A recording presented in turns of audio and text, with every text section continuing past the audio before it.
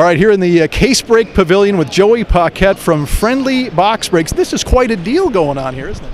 Yeah, this is uh, this is a really really amazing event. I'm, I'm, so glad that they put it on. We're getting a lot of foot traffic, and uh, we're getting uh, a lot a lot of questions being asked. A lot of new people that's getting into box breaks and case breaks, and we're real happy to be part of it.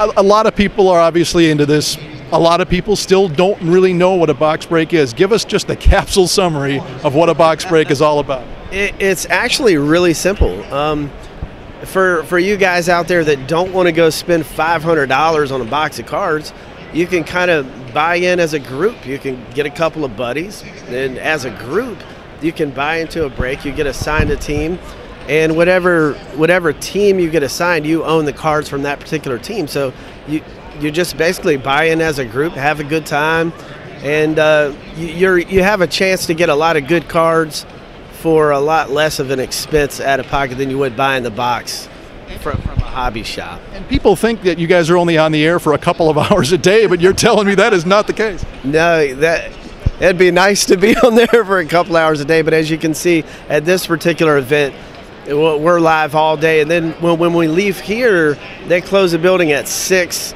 uh, Eastern time. When we leave here, then then we go to work because then we're live again from 8 p.m. to about four or five in the morning. So and then we're back again. Haven't slept in three years.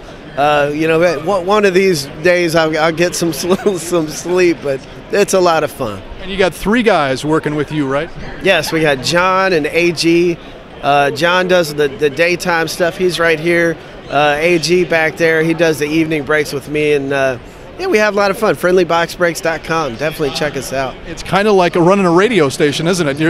you know that that's exactly what it's like. It's like an interactive podcast, and the good thing about it is that it's interactive. Whereas the radio, you're just talking.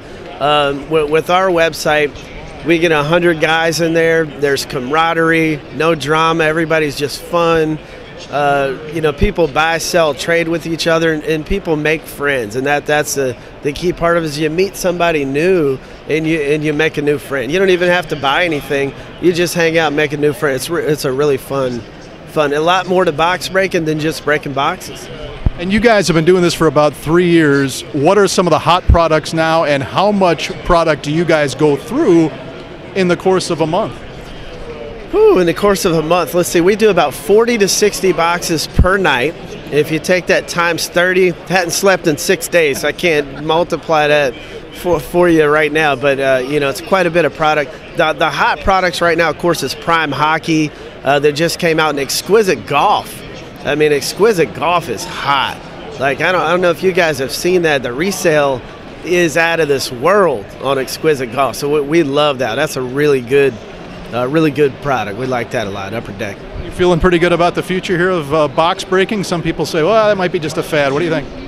Um, I, I, don't think it's a fad. I think it's here to stay. Uh, I think maybe the people that say it's a fad, maybe they were a victim of themselves being a fad, and their fad has worn out. So maybe they trying to say maybe other people are on a fad. But I, I don't think it's fad. I think it's here to stay. I mean, it's it's a progressive part of the industry, and it's an ever-changing industry. It's ever evolving. So you gotta you gotta hop on the train and evolve with the industry, and that, that that's what we're doing. Very good. Thanks, Joe.